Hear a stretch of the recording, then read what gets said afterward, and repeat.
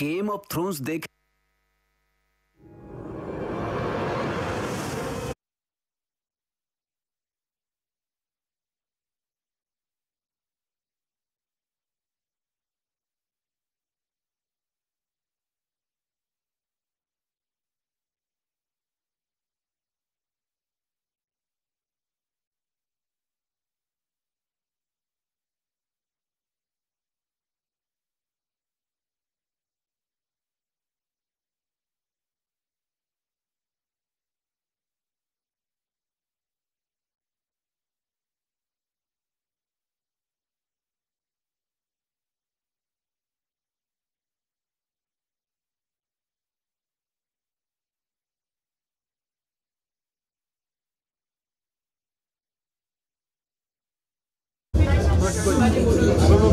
इन शब्दों के तो जीवन भर पछताएगा जो जन्मा right right side right side left left इस कहानी में साजिश सा सोचो पाक सा नोचो बांझे मेरे ये पास वो तूफ़ान है। जो पांडवों को उड़ा के ले जाएँगे बांझे तुम बस देखते रहो बांझे और मेरी तरह सोचो इधर इधर इधर इधर नोचो इस कहानी में हो किसी ने मुझे हाथ भी लगाया तो अनर्थ हो जाएगा। मैं जा रहा हूँ भागवत कि तू कान खोला है इसका दंड अवश्य मिलेगा तुम्हें। ये वचन है एक ब्राह्मण का। वचन है। इस कहानी में किसी भी मुश्किल से बाहर निकलने का जुनून है। यदि इच्छा साक्षी मानकर ये प्रण लेती हूँ।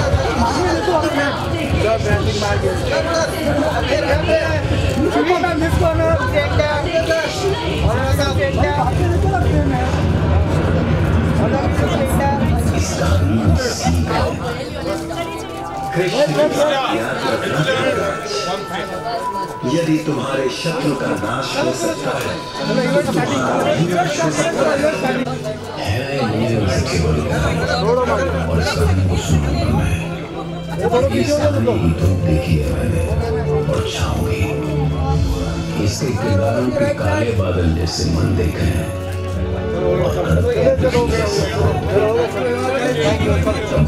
नाम है अनुराग पांडे एक बार जोरदार ताली होनी चाहिए आप सभी के लिए। प्लीज़ गो बिगेंड जोरदार तालियाँ कम ऑन अरे आवाज़ कर लो यार। यस यहाँ से दिलीप साहब की तालियाँ आ रही हैं। बिल्कुल तो चलिए जी। कहते हैं, गुरुर ब्रह्मा, गुरुर विष्णु, गुरुर देवो महेश्वरा, गुरुर साक्षात परब्रह्म तस्मे श्री गुरुवे नमः। दुनिया में अगर कोई व्यक्ति है, कोई इंसान है, कोई ह्यूमन बीइंग है जो आपको बताता है कि भगवान क्या है, गीता क्या है, रामायण क्या है, भागवत क्या है, महाभारत क्या है, वो है आपका गुरु और पहली गुरु होती है आपकी माँ, इसलिए उनके लिए एक बार जोरदार तालियाँ होनी चाहिए। प्लीज़ गुड जोरदार तालियाँ। तो चलिए माँ की महिमा और आज मैं यहाँ पर बहुत सारे कलाकारों को आमंत्रित करूँगा कुछ समय के बाद। लेकिन बताना चाहूँगा कि सात साल पहले रामायण के ज़रिए, फीवर प्रस्तुति रामायण के ज़रिए आप सभी से मुखातिब हुए थे। और एक से बढ़कर एक रेडियो ड्रामा लेकर आए चाहे सस्पेंस हो, हॉरर हो, और उन सात सालों में हम लोगों ने जो आपसे प्यार पाया, वो वाकई काबिल तारीफ़ है। इस समय हिंदुस्तान के कोने कोने में, दुनिया के हर कोने में लोग इस समय लाइव देख रहे हैं, टीवी के ज़रिए सोशल मीडिया के ज़रिए, लेकिन सबको मैं एक बार फिर से तहे दिल से फीवर 104 एफएम की ओर से बहुत बहुत बधाई देना चाहूँगा उनके आशीर्वाद के लिए उनके प्यार के लिए और ये प्यार आप हमेशा बनाए रखें यही चाहूँगा. First of all, thank you very much for spending your time and being here to grace this occasion. Uh, we are very, very glad that we have presented Mahabharat to you. Fever as a brand, uh, we have been present in 13 cities across the country, and we are the fastest growing radio brand currently. And uh, Fever, we could build the brand on the basis of lot of innovations that we have been doing over a period of time. And um, particularly the radio drama, I would like to highlight. Uh, so right from Ramayan that happened from the same team that you have seen uh, to all that I interacted during the afternoon, I have introduced the team of Gaurav Sharma and Sumanto to you. Both of them have been creating these radio dramas right from the last seven, eight years, starting with Ramayan. And it is not only devotional space where we delivered Ramayan um, and many other devotional uh, uh, uh, products like Bal Gopal, etc. We have also ventured into even crime and horror, etc. So we have done many of the first kind, first of its kind in radio industry. So in line with the same, we, uh, uh, when we were thinking what next, uh, what could be uh, uh, one more big uh, product that we can deliver under radio drama, obviously Mahabharat uh, came into our discussions. And it is not an easy project to pull off, but we are very proudly, uh, we, we produced it and startling the, the star cast is a very, very powerful star cast has been assembled. And of course, we will, you know all of them, and of course, you will see them now during the evening as we progress. Uh, uh, so it has been uh, a jewel in the offerings of Fever as a brand. And we have already been receiving a lot of uh, engagement on the product, a lot of listeners very passionately listening to it, not only listening to it, but also re- reacting to it, sending us a lot of comments and the posts on the quality of the production and the quality of the content, the writing.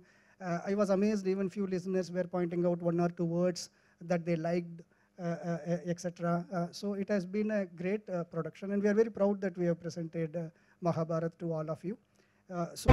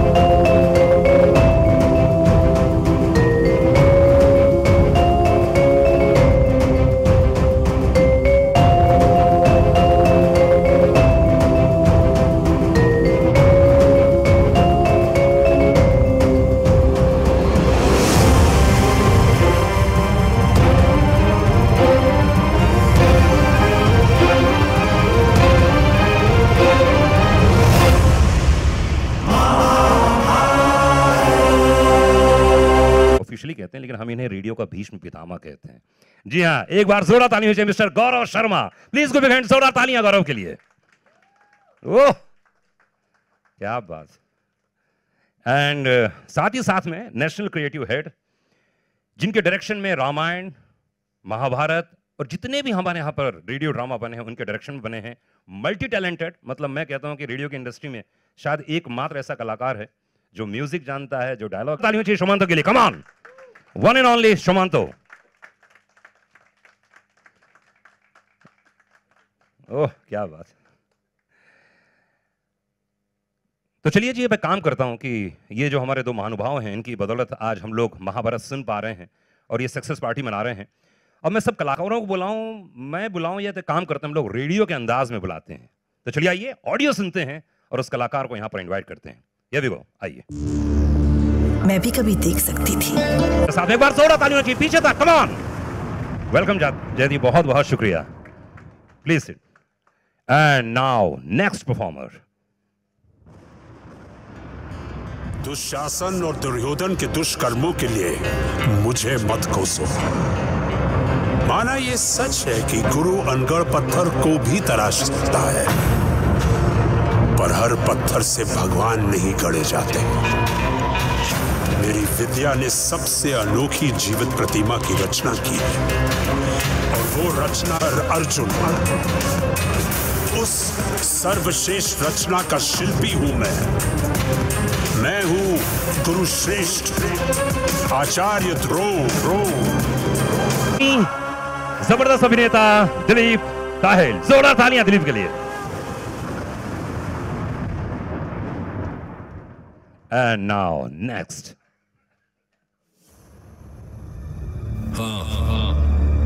मैंने दुर्योधन की जंघा पर प्रहार तब आपकी नीति कहाँ गई थी? जब भरी सभा में दुर्योधन ने द्रौपदी को अपनी यही जंघा दिखाई। तोड़ दी। तोड़ दी तोड़ मैंने तोड़ दी वो जंघा। जो मैंने किया, यदि आप उसे अधर्म समझते हैं तो यही सही। मैंने अधर्म किया। क्योंकि सिर्फ़ मैंने ही द्रौपदी को भारत। भारत जी हाँ देवों के देव राहुल देव इसमें हमारे साथ में हैं। एंड अब कौन कलाकार होगा?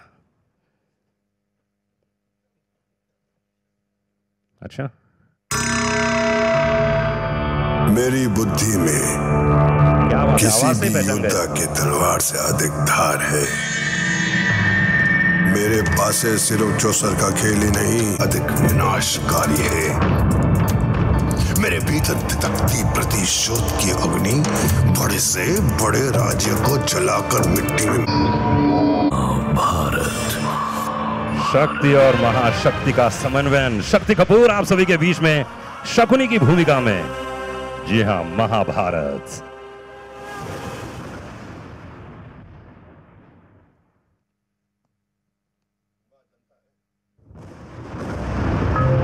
आज इस सभा में केवल इस पांचाली का वस्त्र हरण नहीं हुआ, बल्कि संपूर्ण स्त्री जाति की अस्मिता को निर्वस्त्र किया गया है।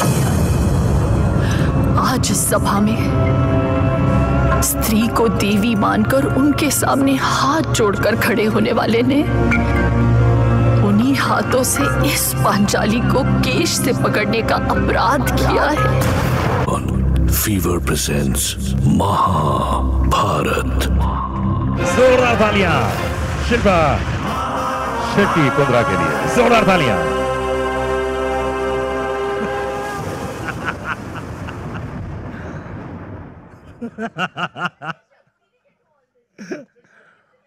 of course.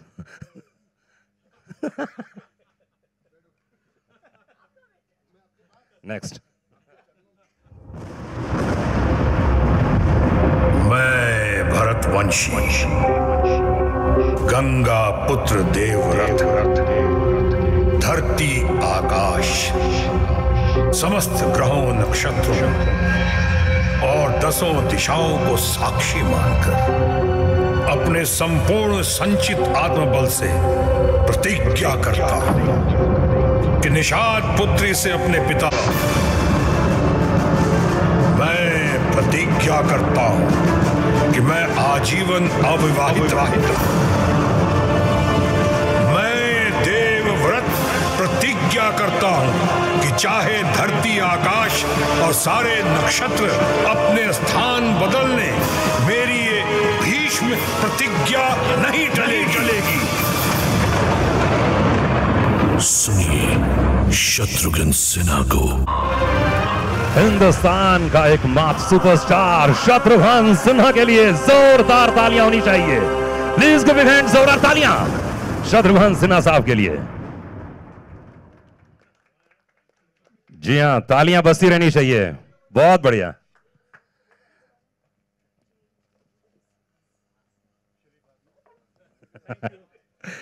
आप सभी को बताना चाहूँगा कि कृष्ण की भूमिका में शान है एंड आकाश की भूमिका में जो सूत्रधार हैं विजय राज वो आज हमारे साथ में यहाँ पर नहीं आ पाए हैं। लेकिन लाइव देख रहे हैं पूरा शो को। बहुत मिस कर रहे हैं हम लोग उनको। एंड विवेक ओबरॉय बस आने ही वाले हैं। तो चलिए उनका इंतज़ार करेंगे हम लोग। लेकिन साथ ही साथ में आपको बताना चाहूँगा कि बहुत ही इंपॉर्टेंट करेक्टर होता है किसी भी चीज़ को बनाने के लिए। वो होते हैं हमारे सहयोगी। उनमें से मैं कुंती की भूमिका में करुणा वर्मा को एक बार रिकॉग्नाइज एक बार जोरदार तालियों चाहिए करुणा जी के लिए। अर्जुन की भूमिका में चैतन्य, आदिव, विदुर की भूमिका में संजीव एंड ये टीवी इंडस्ट्री के लोग थे, लेकिन वॉइस इंडस्ट्री में, धृतराष्ट्र की भूमिका में समय गंगा, पूजा, पंजाबी, जोरदार तालियाँ होती रहनी चाहिए। एंड साथ ही साथ में इस पूरे महाभारत को हज़ारों बार, लाखों बार लिखा गया है, पढ़ा गया है, देखा गया है, लेकिन लेखनी बहुत कमाल की होती है। तो ये लेखनी के लिए इतने सारे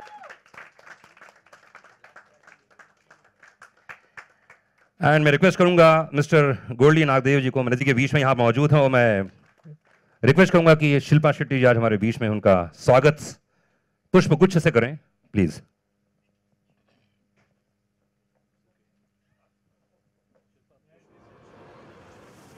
very lucky day for me and two world's most gorgeous ladies accompanied me she is there Pooja I would want her to join आइए पूजा जी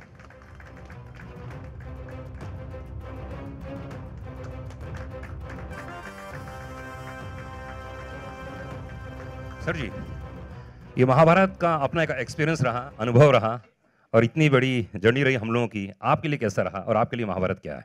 Uh, मेरे लिए महाभारत बहुत special yeah so you know yeah yeah of course.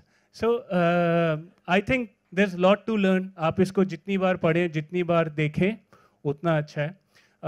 Radio uh, जब हम radio पे कोई चीज़ सुनते हैं तो words are plain word all these great personalities you know the words get visually charge आप उनको फील कर सकते हैं उनको सुन सकते हैं। They get the right depth so I am fortunate that we had this opportunity to associate with this great epic thank you so much thank you to all the Fever जोरदार ताली होनी चाहिए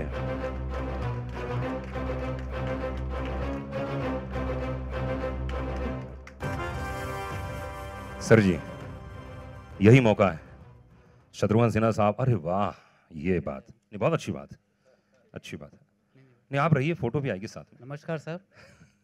एक्चुअली आप लोगों की आवाज़ के सामने तो हमारी आवाज़ कुछ नहीं है। तो आपकी आवाज़ सुनने के बाद हम लोग को थोड़ा इन्फिनिटी हो गई है कि आपके सामने कैसे बोलें। फिर भी कोशिश करते हैं थोड़ा सा। Hello and good afternoon one and all I Lakshmi Narayan pick with Fever FM, a kind of DTH, direct to heart approach. And we are happy to choose Fever FM to promote our brand. Fever FM logo slogan से number one तो number one होता है. I would I would like to add I इससे join करने वाला भी number one होता है. दैट इज़ पावरटेक्स टूल्स ने भारत के लोगों की पहली पसंद. पावरटेक्स से लाइफ मस्त है. और महाभारत से जुड़ने के बाद लाइफ और भी मस्त हो गई है। थैंक यू क्या बात है। बहुत बहुत शुक्रिया सर बहुत बहुत धन्यवाद। लक्ष्मी नारायण गुप्ता जी एंड हमारे बीच में विवेक ओबरॉय आ चुके हैं। क्या बात। जोरदार ताली होनी चाहिए। लेकिन विवेक ने जो परफॉर्मेंस दिया इट वाज फैंटास्टिक मतलब मैं मैं रिकॉर्डिंग में था उस समय, मैंने बाद में सुना जब आप चले गए थे। मैं चाहूँगा प्लीज़ एक बार ऑडियो प्ले कीजिए, क्योंकि हमने सबके इंट्रोडक्शन में ऑडियो प्ले किया था, और आपकी एंट्री बिल्कुल भगवान शिव की तरह हुई। जय हो। आदि अनंत है। यस आइए। हाथ की रेखाएँ झूठ है। परिस्थितियों का रुदन झूठ है। यदि कुछ सत्य है तो वो है इच्छा शक्ति। यदि इच्छा शक्ति हो तो अपनी हाथ की रेखाएँ स्वयं बनाई जा सकती है। यदि इच्छा शक्ति हो ती को मोड़ा जा सकता है।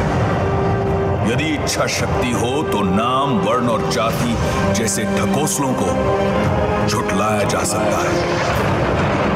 क्योंकि अगर मैं सूत पुत्र कर्ण कर्ण अपनी इच्छा शक्ति और संकल्प के बल पर कुछ भी कर सकता है। सुनिए, विवेक ओबरॉय को अंगराज कर्ण की भूमिका में। Only on Fever presents Mahabharat क्या बात है। विवेक ये हमारे माई बाप लोग हैं। ये मालिक टाइप का आदमी है। यही चाहेंगे। हाँ बस बस समझ गया।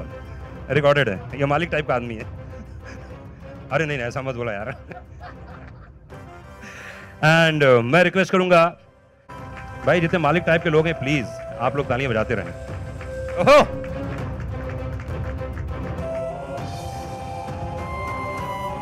मैं सौरभ मिश्रा जी को फिर से एक बार आमंत्रित करूँगा राहुल देव जी के स्वागत के लिए। Saurabh Mishra ji.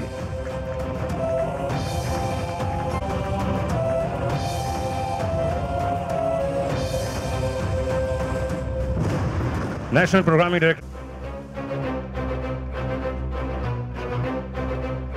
hello hello मतलब हॉट हो गया आज पुष्प कुछ ना?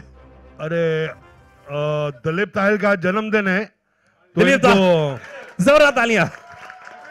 Thank you thank you Everyone. Okay Everyone, birthday to you. Happy birthday to you. Happy birthday, dear. Dilip ji. Happy birthday to you.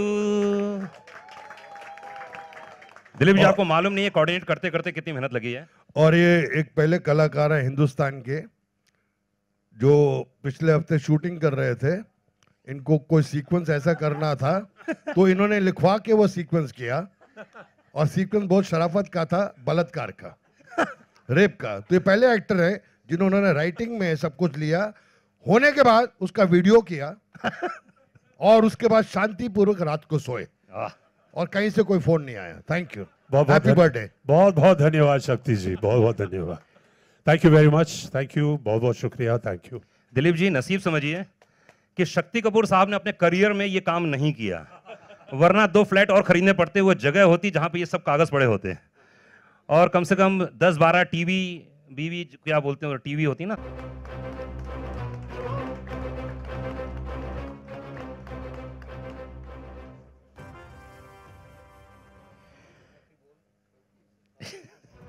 एक बार जोरदार ताली होनी चाहिए इस पूरी टीम के लिए।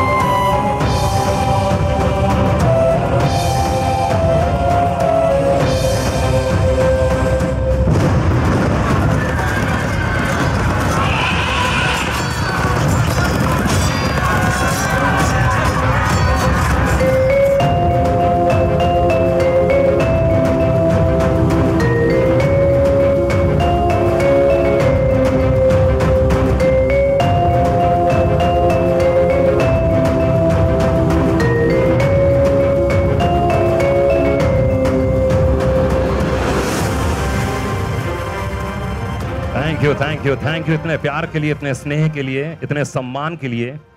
आज का दिन बहुत ही महत्वपूर्ण है और दिलीप जी आपको मालूम नहीं है थिंक वी ऑलवेज स्ट्राइव कि कुछ नया करें कुछ हटके करें कुछ डिफरेंट करें।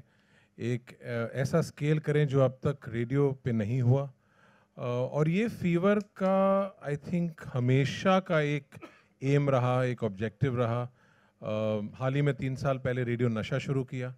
जो एक बहुत ही कूल रेट्रो चैनल है in fact Shakti ji host show on radio Nasha as crime master Gogo तो वो भी एक नया अंदाज था क्योंकि रेट्रो चैनल्स थे, लेकिन एक कूल रेट्रो चैनल नहीं था। रेडियो ड्रामास की शुरुआत फीवर ने की रामायण के साथ, और with every project we set कि let's make it bigger let's make it grander theatre of mind जो रेडियो को कहा जाता है, उसको एक अलग दिशा, एक अलग लेवल पे लेके जाना।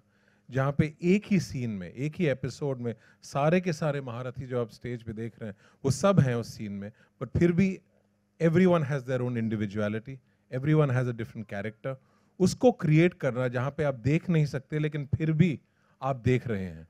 So to take theatre of mind to a different level I think that was Mahabharat but वैसे अगर देखा जाए तो फीवर हर किसी मुकाम में कुछ ना कुछ अलग करता है स्पोर्ट्स के एरिया में।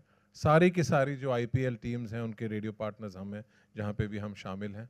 All the sports we support तो अगर स्पोर्ट्स हो या फिर रेडियो ड्रामा हो I think it is about radio plus radio सिर्फ़ अब म्यूज़िक का माध्यम नहीं रह गया।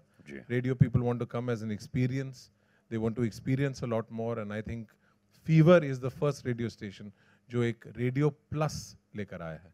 And I think Mahabharat is the biggest thing in that so बिल्कुल बहुत बड़ी बात है।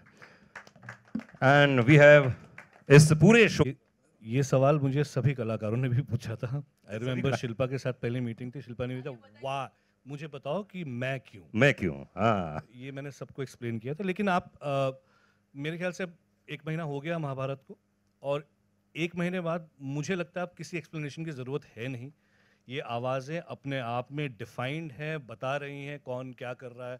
आप एक झलक सुनेंगे और आपको पता लग जाएगा ये कैरेक्टर है।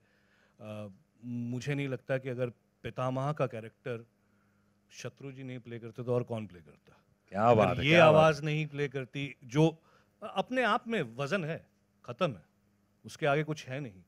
आप कर्ण को देखिए आप विवेक ने जिस तरह से अच्छा विवेक की तो शुरुआत ही वॉइसिंग डबिंग इंडस्ट्री से हुई। That that is something which I am very happy मुझे बड़ी खुशी हुई कि मैं विवेक को वापस उस डबिंग की दुनिया में लेकर आया और बहुत कन्विंस करना पड़ा वैसे मुझे विवेक को इस रोल के लिए, लेकिन क्योंकि ये विवेक खुद एज अ पर्सन वो बहुत हेल्प करते हैं to the you know people who social socially बहुत लोगों को अपलिफ्ट करते हैं। तो इसलिए उनका बताइए इससे ज़्यादा कूल भीम कहाँ मिलेगा आपको? ये ये होती है कूलनेस भीम की कूलनेस ऐसी होती है. और यही सवाल मुझे शक्ति जी ने भी पूछा था कि मैं क्यों?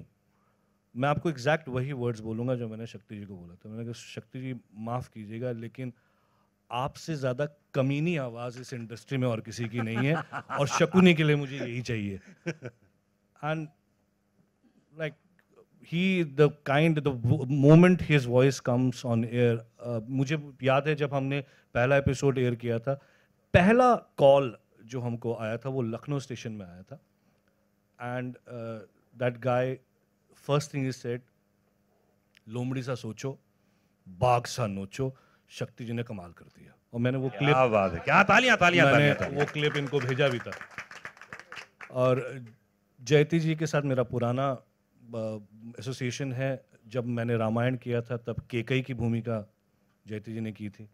और इनको इसलिए मैंने मैंने कहा तो गांधारी का जब आया तो मैंने कहा ठीक है आँखों में पट्टी बाँध के मैंने इनको बुला लिया। सिद्धांत जी और क्षमा चाहता हूँ हाँ जी। ये मी टू का जमाना है। अच्छा। तो किसी के बारे में कहना कि पुराना एसोसिएशन है ओ अच्छा। जरा सोच समझ के मैं मैं इसको और स्पष्ट कर देता हूँ। रामायण जब हुई थी तब मैंने राम की भूमिका की थी इन्होंने मेरी माँ की भूमिका की थी। तब। महाभारत में मैं दुर्योधन की भूमिका कर रहा हूँ ये मेरी माँ की भूमिका कर रही है। अब क्लियर है? एकदम क्लियर है। भूमिका से अच्छा। और जी दलीप जी थिएटर मैंने इनके कुछ प्लेस देखे हैं और वो बुलंद आवाज़ वो कमांड जो है एक आवाज़ में जो गुरु द्रोण के कैरेक्टर के लिए चाहिए था मैंने सीधा गौरव को बोला, मैंने गौरव प्लीज़ दिलीप जी से कांटेक्ट करें और I want him to play this character और मैं बड़े उस उसके साथ इतमान के साथ कह सकता हूँ बैठ के this star cast which is sitting here is my first choice and I am very grateful to them कि इन्होंने, हमने इनको अप्रोच किया उन्होंने पहली बार हाँ कर दिया। And his Mahabharat and the महाकास्ट for you क्या बात है। जोरदार ताली होनी चाहिए शमांतो के लिए। एंड शमांतो के लिए स्पेशली एक बार तालियाँ होनी चाहिए क्योंकि ये जो प्ले बनाना बहुत टफ होता है। मतलब कितने घंटों की कितने दिनों की मेहनत आप सोच नहीं सकते नॉन स्टॉप एक महीने हो गए ये लोग ना खाए ना पिए अच्छे से ना सोए। हैं इसलिए एक बार जोरदार ताली होनी चाहिए शमांतो और उनकी पूरी टीम के लिए। मैं एक्चुअली यहाँ पर कोने कोने में मैं एक्चुअली मैं अपनी टीम का नाम ज़रूर लेना Please चाहूँगा यहाँ पे। ये जो साउंड आप सुन रहे हैं designing of the whole sound रात रात बैठ के Saurabh Bhunjal my sound designer Saurabh who is right now behind the console Sagar is my editor Runchun and Runchun I think she is somewhere here only Tanushita they are my assistant directors सबसे ज़्यादा डांट इनको पड़ती है लेकिन बहुत मेहनती बच्चे हैं ये and they have really worked hard on the whole project so the credit goes to them वो तो सर पहले ही मैं तो खड़ा होकर सम ये ये चीज़ ये बताएँगे। एक राज ये और ये महाभारत जो बनाया गया है ये सिर्फ़ एक ही कारण से क्यों ताकि गौरव जी युधिष्ठिर प्ले कर सके। A big hand for him also, please. इस समय हमारे साथ में पूरी स्टाकाश मौजूद है तो शुरुआत इष्ट भीष्म पितामह। एक ऐसा चरित्र जिसकी उस जमाने में भी ज़रूरत थी आज की तारीख में भी राजनीति में ज़रूरत है। तो भीष्म पितामह एक अपने आप में संपूर्ण चरित्र को लिए हुए हैं। उसने अपनी ज़िंदगी में सब कुछ देखा और इच्छा मृत्यु थी उनके पास। जब तक वो मरना नहीं चाहते थे, मरते ये रोल कितना महत्वपूर्ण है और इस महाभारत में कितना महत्व रखता है, मैं जरा। अनुराग, आपको धन्यवाद देते हुए पहले तो मैं जितने स्टेज पे लोग बैठे हुए हैं, और ख़ासकर कलाकार और हमारे मित्र और इसके मुख्य, मुखिया गौरव जी को, यहाँ पे राहुल बैठे हैं, उनको बहुत बढ़िया कलाकार हैं। यहाँ पे हमारे मित्र, सहयोगी दिलीप ताहिल बैठे हैं, उनको हमारे छोटे भाई, परिवार के अभिन्न अंग विवेक ओबरॉय उनको हमारी नायिका, हमारी बहुत अच्छी ज़माना ख़राब है, ज़्यादा नहीं बोल सकता हूँ, लेकिन हाँ फिर भी बहुत अच्छी है बहुत अच्छी नायिका, बहुत ही अच्छे कलाकार और इसने बहुत सुंदर काम किया, हमेशा करती हैं, इसमें भी बहुत सुंदर काम किया ऐसी हमारी शिल्पा शेट्टी शेट्टी। और जो एक ज़माने में बहुत हार्मफुल थे वह इन दिनों टोटली हार्मलेस हो चुके हैं। और कुछ कुछ मी टू का कमाल है। और साथ ही साथ इनकी बेटी जो हैं, जो आज ना नाम रोशन कर रही हैं, श्रद्धा कपूर उनका भी कमाल है कि उसकी वजह से इनके बहुत ज़बरदस्त अंकुश पड़ गया है। ऐसे हमारे अभिन्न अंग जो हैं हमारे फ़िल्म उद्योग के भी और हमारे परिवार के भी शक्ति कपूर जी साथ में बैठी हुई जयती जी जयती जी के साथ सीमांतो जी हैं। तमाम सम्मानित मंच और तमाम आप लोग जो आए हैं उन तमाम लोगों को प्रणाम करता हूँ हार्दिक अभिवादन करता हूँ अभिनंदन करता हूँ वंदन करता हूँ और साथ ही साथ आपके अनुराग जी आपने जो हमसे पूछा है महाभारत में जो आपने कहा कि आज की राजनीति में वैसे लोगों की ज़रूरत है लेकिन ऐसे लोग मिलते नहीं है। आप हैं ना, जो आप है ना। मिल कोशिश उस राह पे मेरी तुलना नहीं हो सकती है खासकर भीष्म पितामह से देवव्रत से गंगा पुत्र से मेरी तुलना नहीं हो सकती लेकिन हम लोग कोशिश कर सकते हैं उस राह पे चलने की अपने आप को मज़बूत करने की कोशिश कर सकते हैं। उसी कोशिश में कोशिश की प्रक्रिया में हम सब इकट्ठा हुए लेकिन महाभारत महाभारत पे पहले कह दूँ कि महाभारत जैसा आज शब्द का इस्तेमाल करो, दुर्लभ rare rarest of the rare epic ऐसा जो है कि क्या नहीं है इसमें ज्ञान है, गुण है कमिटमेंट है, मार्गदर्शन है, जीवन शैली का परिचय है, इसके अंदर वो डिटर्मिनेशन है डेडिकेशन है डिवोशन है ड्रामा है पैशन है ऐसा तो शायद बिड़ले ही विश्व में शायद ही कोई महाकाव्य मिलेगा जैसा महाभारत है। हमारे यहाँ ये दोनों जो महाकाव्य हैं या तो रामायण या महाभारत दोनों मैं सही मानों में कह सकता हूँ आउट ऑफ़ द वर्ल्ड हैं बिल्कुल बिल्कुल। और उसमें ये कैरेक्टर भीष्म पितामह का जो मैन ऑफ़ स्टील जो प्रतिज्ञा करता है तो हस्तिनापुर में जाकर, यानी सेवा का, सेवा भावना के साथ सत्ता से दूर रह के, और ये बात को मानते हुए जो आज मानना चाहिए लोग मानते नहीं आज की राजनीति में, कि सत्ता सेवा का माध्यम है। सत्ता सेवा का माध्यम होना चाहिए। आजकल सत्ता मेवा का माध्यम है, हमारी राजनीति में। लोग सत्ता के ज़रिए कमाने के सोचते हैं। वहाँ सब कुछ गंवा कर सत्ता के ज़रिए सेवा करने की भावना और संकल्प लेकर जैसे हमारे भीष्म पितामह सामने आया देवव्रत गंगा पुत्र वो मैं समझता हूँ अविस्मरणीय है और सही मायनों में बहुत ही सराहनीय है प्रशंसनीय है और अनुकरणीय है। तालियाँ। तालियाँ। थैंक यू नेक्स्ट शत्रु जी बहुत बढ़िया क्या बात है। आपके हिंदी शब्द वाक्यांशों के लिए बहुत बहुत शुक्रिया धन्यवाद कि ऐसे हिंदी बहुत कम मिलते हैं। एंड अरे मुझे भी तो मौका मिल रहा है ना यार बोलने दो शत्रु जी आप अनुराग आप बहुत अच्छे हैं। थैंक यू भैया। बस इसी सुनने के लिए तो आज का शो करने आया हूँ मैं। रेडियो शो छोड़ के तुरंत यहीं पे आया मैं।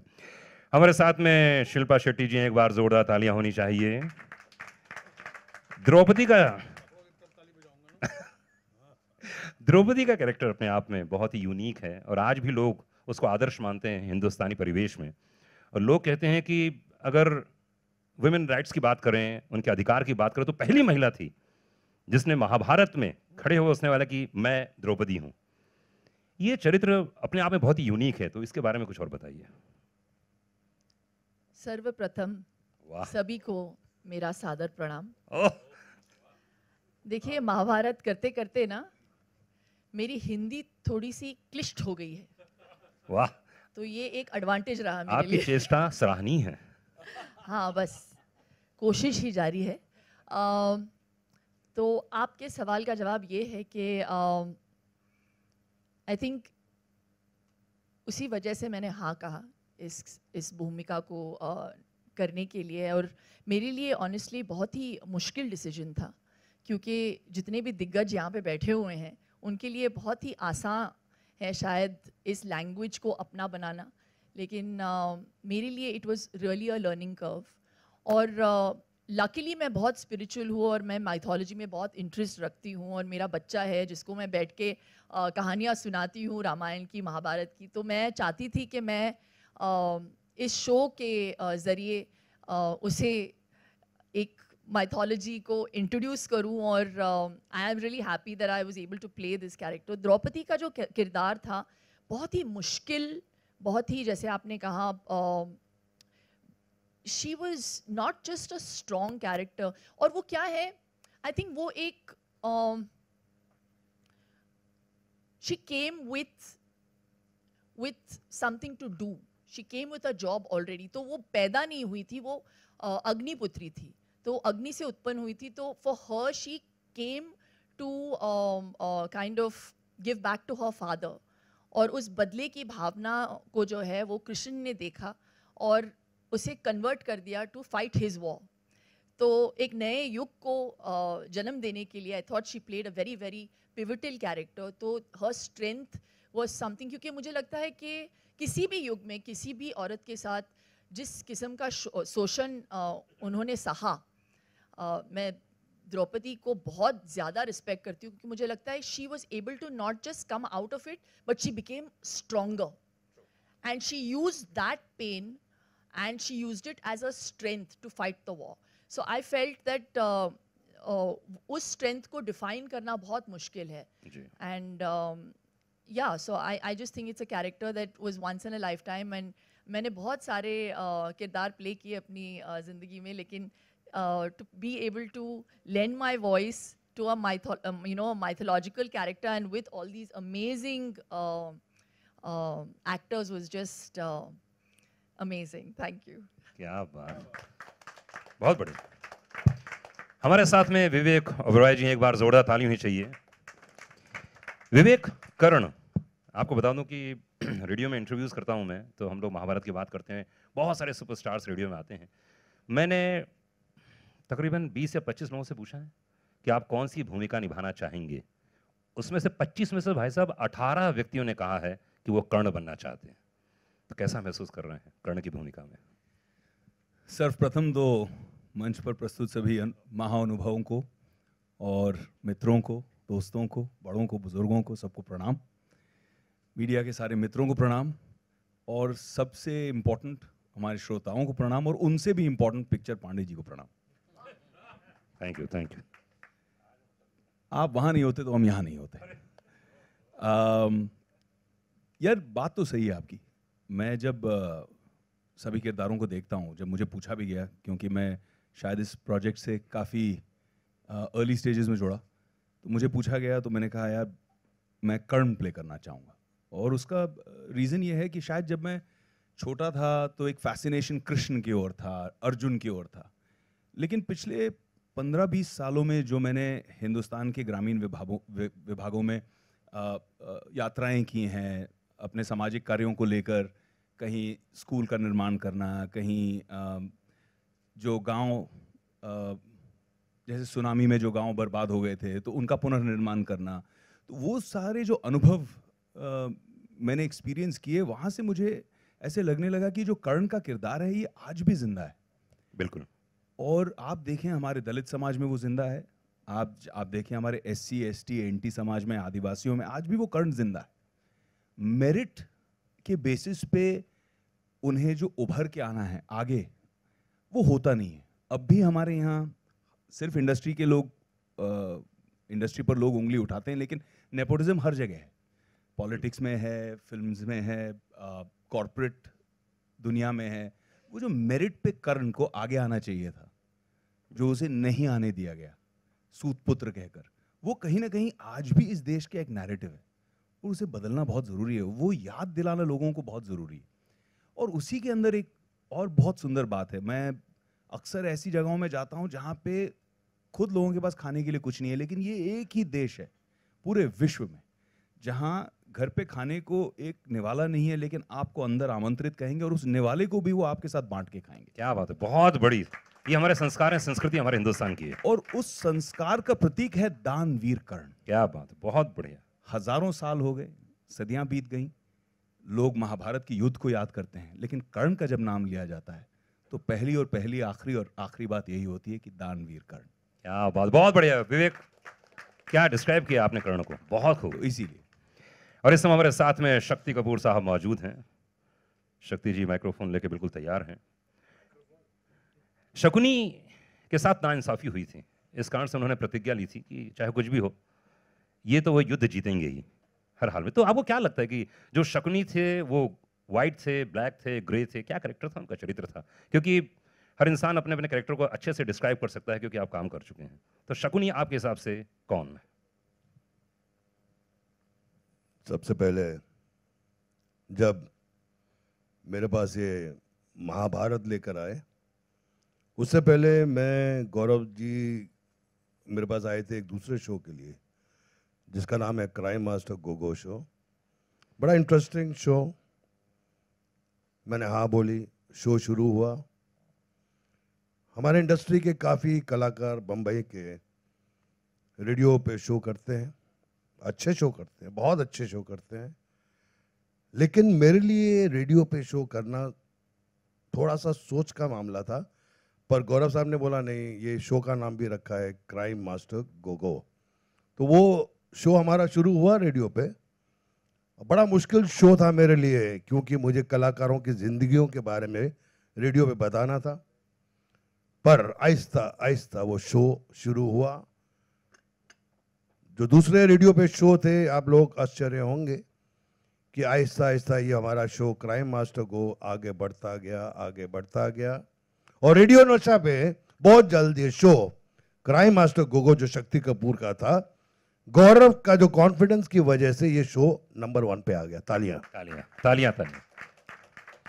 तो थोड़ा सा कॉन्फिडेंस मेरे में आया कि हाँ मैं रेडियो पे थोड़ी सी बात कर सकता हूँ। मैंने बहुत बड़े बड़े कलाकारों की हिस्ट्री पे रिसर्च की और उनके बारे में मैंने प्रोग्राम किए।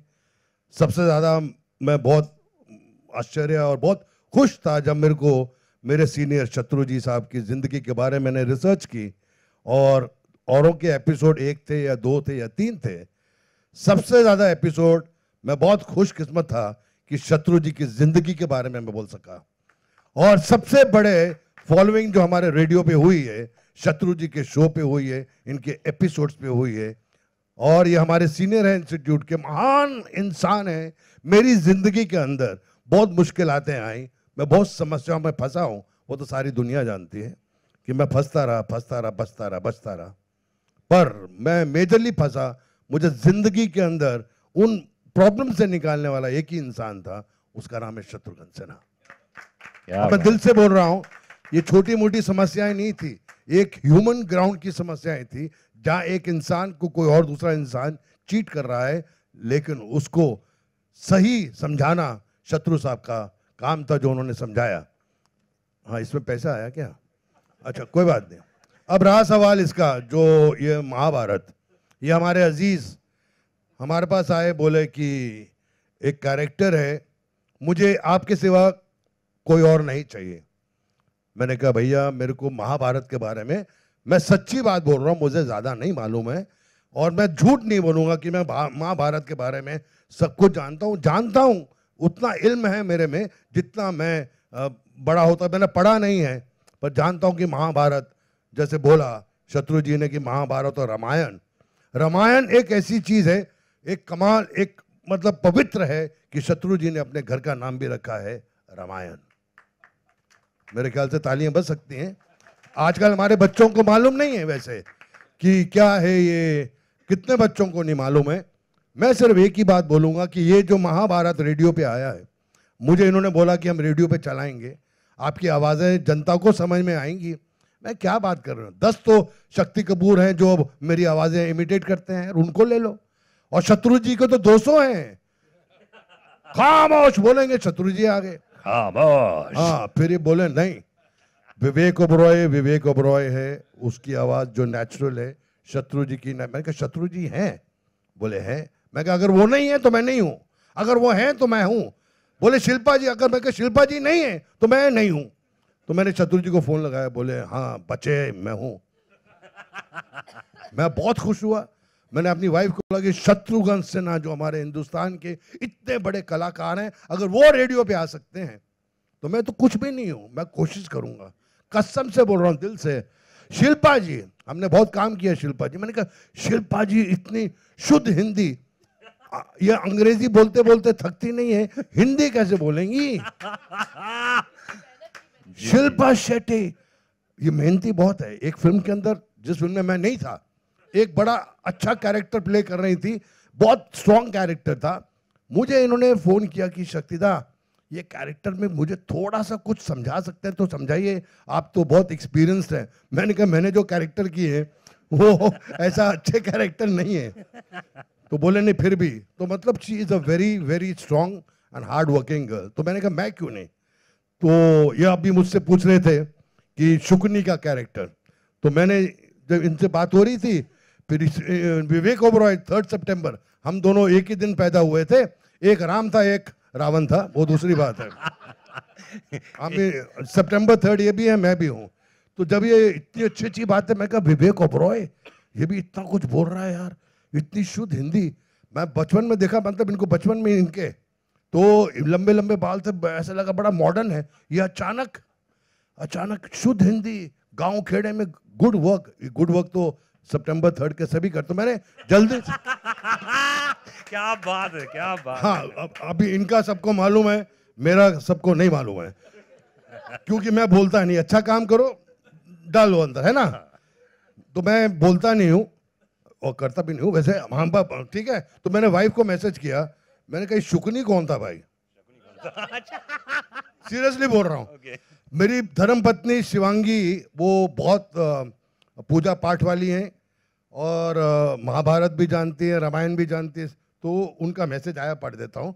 शुक्नी कौन था और मैंने क्यों किया? It's according to my wife she said okay do it then I did it Shakuni Mama is a very riveting and colorful personality. The shades and layers to his persona are fun to explore. समझ गया ना? English आती है ना? इतनी शुद्ध हिंदी बोली है लोगों को साथ अंग्रेज़ी भूल गई हो। तो मैं बोल रहा था fun to explore deceptive yet funny magnum magnanimous yet yet magnum yet ये क्या है? अरे ये क्या है इंग्लिश में? आई हैड हाँ, हाँ, uh, और मैंने कहा और क्या बोलूँ? बोलो और कुछ नहीं. तो मैंने कहा शुद्ध हिंदी मुझे भी आती है। तरनी तनुदा तत्तमाल तरुआ बछाए। मसी का छू नहीं कलम कहीं ना हाथ। लाली मेरे लाल की जिद क्यों तो लाल? माया तेरे तीन नाम परसी परसा परस राम वाह वाह। वाह वाह शक्ति जी हाँ। वाह वाह। क्या बात है। क्या बात है। कमाल कर दिया। है ना? वैसे सारी दुनिया अच्छी तरह से जानती है मैं कितना शरीफ आदमी हूँ। बट मैं आज मुझे मौका मिला है मैं सीरियसली बोल रहा हूँ मज़ाक कि पहली मरतबा ज़िंदगी के अंदर रेडियो शो के अंदर रेडियो को इनके चैनल को हम सबको खुशी इस बात की है कि ये प्रोग्राम इतना बड़ा हिट है। गली गली में गाँव गाँव में शहर में यहाँ तक कि आज की जो जनरेशन है जिनको कुछ मालूम नहीं है इस प्रोग्राम के ज़रिए आज उनको शिक्षा प्राप्त हो रही है कि महाभारत में कौन कौन क्या था। क्या बात शुक्नी एक ऐसा कलाकार है एक ऐसा एक्टर है जिसकी टांग एक लंगड़ी थी। जब मैं डबिंग भी करता था रिकॉर्डिंग भी करता था तो मैं ऐसे करता था मामा तो वो इफ़ेक्ट आता था ना रेडियो में समझ गया ना? आपको देख तो रहा नहीं है आपको। अब गले से क्या क्या आदमी करेगा मेहनत? तो मैं बोलता था हाँ हाँ जी हाँ जी। कसम से ऐसे आप पूरा किया तभी बोले कि बहुत अच्छा आया है। बहुत अच्छा है हाँ हाँ। बहुत ये दूसरी बात है कि हिंदी बोलते बोलते मैं मर गया बर्बाद हो गया तबाह हो गया। मतलब आधी आधी रात को मैं हिंदी का वर्ड याद नहीं आता था। वो मैं आधी रात को बोल रहा हूँ, मेरी बीबी बोल रही, क्या हो गया? पागल हो गया मैं कह, नहीं, महाभारत।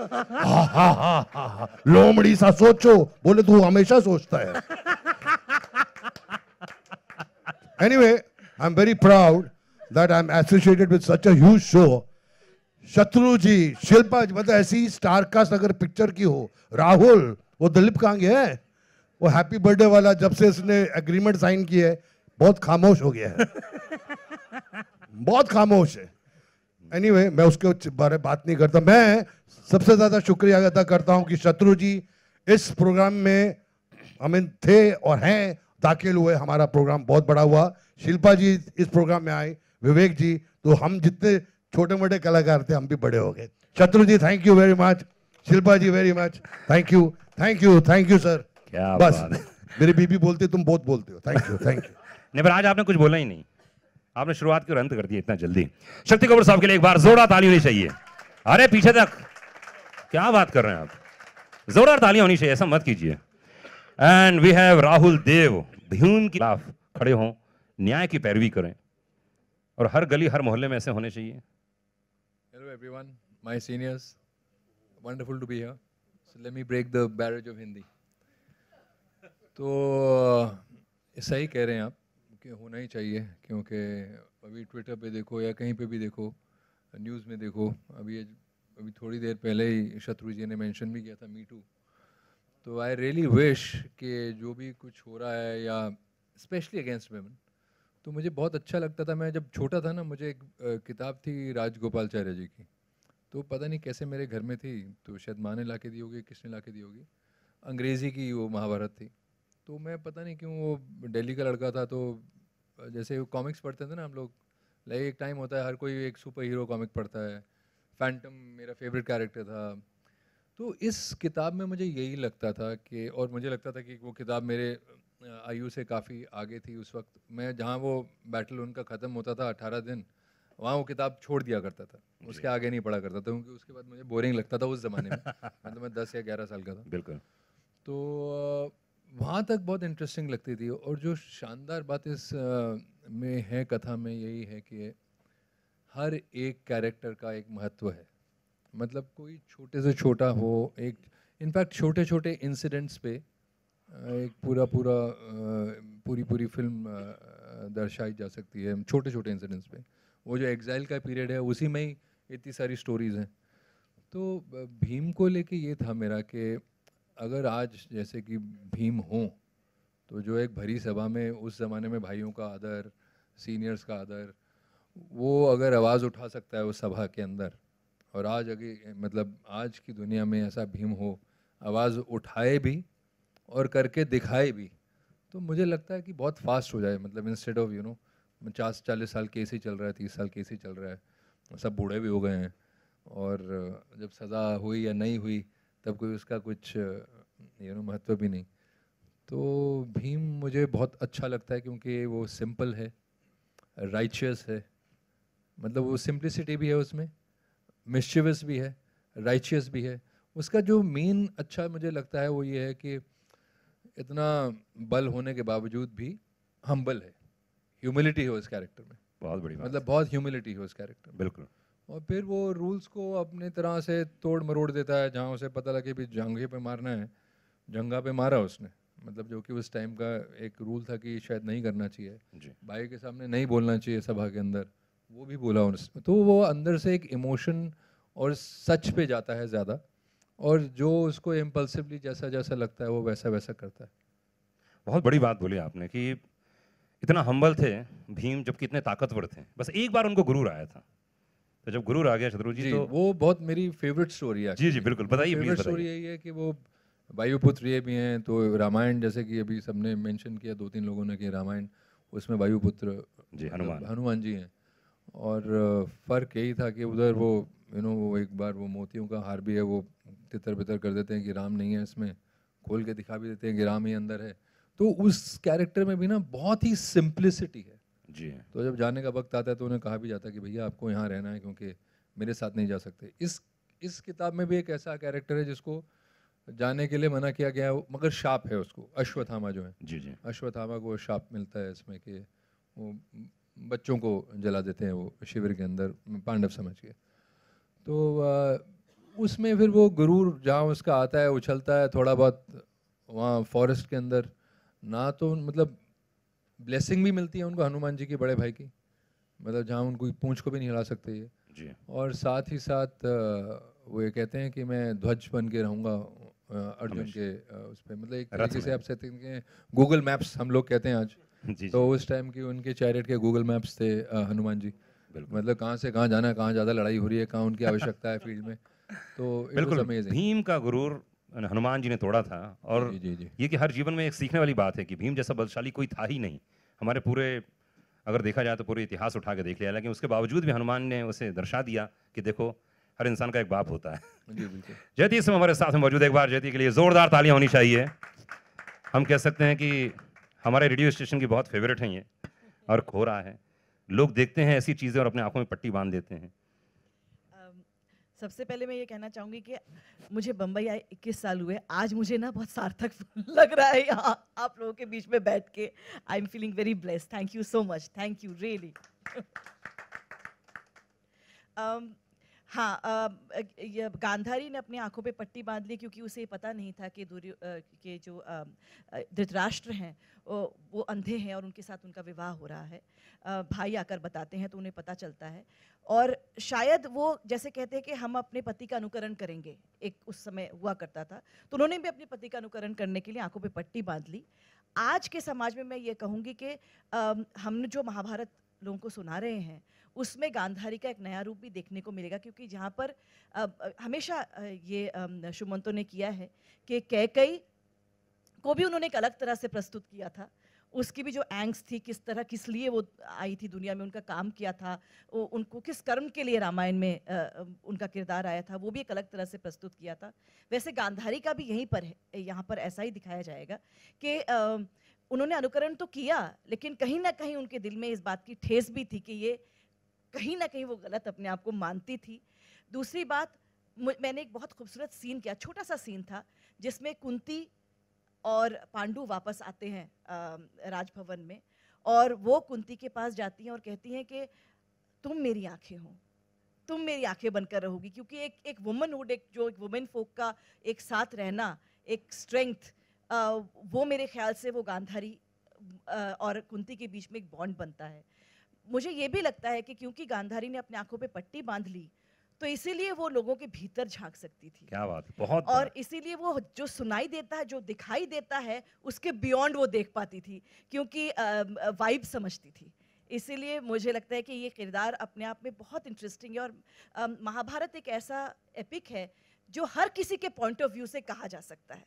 हर किसी के मैंने एक प्ले पढ़ा है मैं मैं, थिएटर करती हूँ। धर्मवीर भारती की एक एकाएक का एक प्ले है जिसका नाम है अंधा युग। जी बिल्कुल। उसकी शुरुआत द्वारपाल के पॉइंट ऑफ़ व्यू से होता है।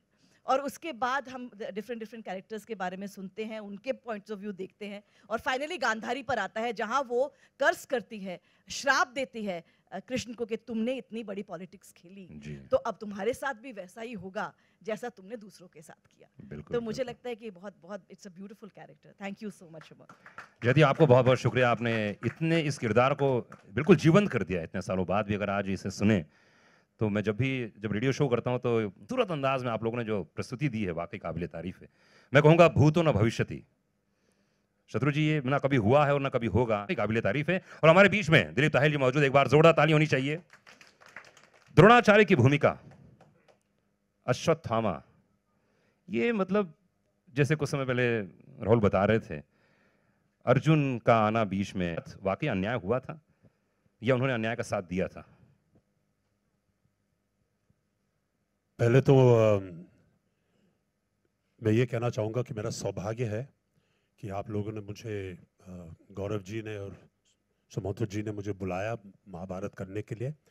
इतने बढ़िया कलाकारों के साथ जो हमारे मित्र भी हैं जयति जी सिन्हा साहब शिल्पा विवेक राहुल और मेरे पुराने और अज़ीज़ मित्र शक्ति कपूर को मैं ओह क्या बात। कभी नहीं भूल पाऊँगा। जी जी बिल्कुल।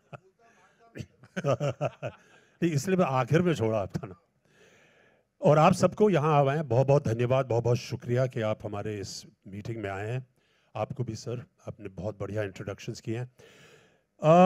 द्रोणाचार्य द्रोणाचार्य के बारे में ये उनका जो हम अंग्रेज़ी में बोलिए इसको डायलेमा था कि वो न्याय, अन्याय इसमें उसमें उलझे हुए थे कि इनका कोई मानते हैं कि जो उन्होंने किया, वो जो सिखाया तो उनकी वजह भी थी।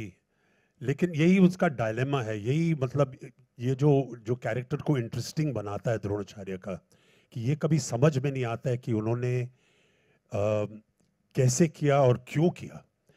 हाँ ये क्यों किया तो मालूम है क्योंकि उन्होंने अ, और उनके साथ अन्याय हुआ ये भी सही है क्योंकि हुआ था उनके मित्र के साथ। बिल्कुल। जिन्होंने उनको महल से निकाल दिया और पितृमोह भी था। भूल गए थे। जी बिल्कुल। पितृमोह भी था अपने बेटे को लेकर भी हाँ था। और ये भी था कि अम, मतलब अर्जुन की जो जो शिक्षा दी उन्होंने तो और अपने अपने खुद के अपने बेटे को नहीं दे पाए। तो ये ये जो समस्या है ये गुरु लोगों के साथ अक्सर होता है क्योंकि जब मुझे मैं द्रोणाचार्य के बारे में सोचता हूँ तो मुझे महात्मा गांधी भी याद आते हैं। जो पूरी दुनिया के सामने वो महात्मा थे लेकिन अपने घर में अपने परिवार में वो उनको वो सुख नहीं मिला। बिल्कुल। तो ये अक्सर एक डायलेमा होता है और बाकी मैं कहना चाहूँगा कि हमारे डायरेक्टर ने हमें गाइड किया इसमें और I am very very I am very proud to have played Dronacharya. Thank you क्या बात थैंक यू बहुत बहुत शुक्रिया। हाँ। यहाँ पे बहुत सारे मैं काले साहब का नाम भूल काले साहब आपका नाम लिया ना मैंने। काले खड़े हो जाओ। इन्होंने और मैं एक बार sorry sorry to interrupt you मैं एक बार बात और कहना चाहूँगा कि जब हम रेडियो सिलोन सुनते थे बहुत पहले तो वहाँ पर रेडियो प्लेज हुआ करते थे और बगैर डायरेक्टर के किसी भी किरदार को मतलब प्रेजेंट करना केवल आवाज़ के ज़रिए ये बहुत कठिन बात होती है। और यदि काले साहब और सुमंतु जी और दीपिका और गौरव हमारे साथ नहीं होते तो मुझे शायद ही मुझे लगता है कि ये हम नहीं कर पाते ये संभव नहीं होता। तो बहुत बहुत धन्यवाद आप सबका। बहुत सारे क्वेश्चंस हैं। जी पूछें सो so, कैसा रहा आपका अनुभव डबिंग करते हुए जब आपने you didn't go on screen and you came to the station for dubbing कैसा था आपका अनुभव? आपको कैसा लगा करके? आप यकीन नहीं मानेंगी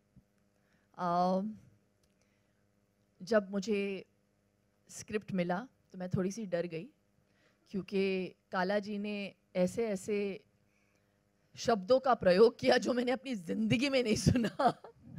पृष्ठ संख्या कुछ ऐसे ऐसे बट um, इसे मैंने एक चैलेंज की तरह लिया और ऑनेस्टली uh, कहा जाए तो मुझे लगा नहीं कि मैं इसे पूरी तरह से निभा पाऊँगी क्योंकि क्या है नॉर्मली जब आप किसी फ़िल्म में काम करते हैं, एक किरदार दिया जाता है आपको then you take your paint brush and you colour it you know and you bring it to life यहाँ पे ये जो किरदार दिया गया मुझे, वो ऑलरेडी आइकॉनिक किरदार है. तो the onus was just too much the benchmark was very high और ऐसे ऐसे कमाल के कलाकार जिनके voice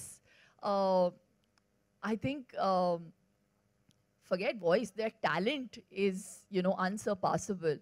And uh, मुझे ज़्यादा मेहनत करनी पड़ी और पहले दिन पे आप यकीन नहीं मानोगे पूछ लीजिए हमारे डायरेक्टर साहब से मैंने सीन पढ़ा और मैंने कहा मुझसे नहीं होगा ये. आई एम रियली सॉरी मैं यहाँ पे डबिंग थिएटर आई हूँ।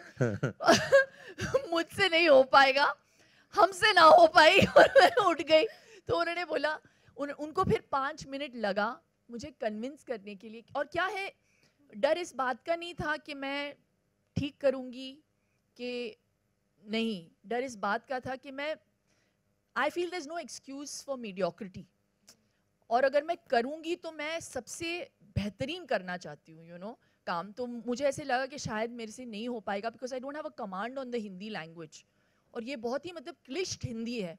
सो so, तो फिर मैंने इसे चैलेंज की तरह लिया और आप uh, आप बिलीव नहीं करेंगे जो पहला सीन हम लोगों ने शूट किया आई मीन सॉरी रिकॉर्ड किया देखिए for us it's so like you know it's so actually मेरा प्रश्न ये भी था कि आप एक शूटिंग के लिए जब जाते हैं तो बहुत तैयारी करनी पड़ती है to face the camera. Ji. Here you are not facing the camera. Here So it was more difficult. And yeah, so so if for you, you uh, आप लोगों को लगता होगा कि हम no, नहीं कर रहे थे have to uh, do uh, the back end preparations and you just have to go and speak. No, it nee, is uh, half the job was already done. Na? If you're doing a movie, yeah. you've already got an action uh, yeah. to which you're putting in your reaction in the dubbing theatre.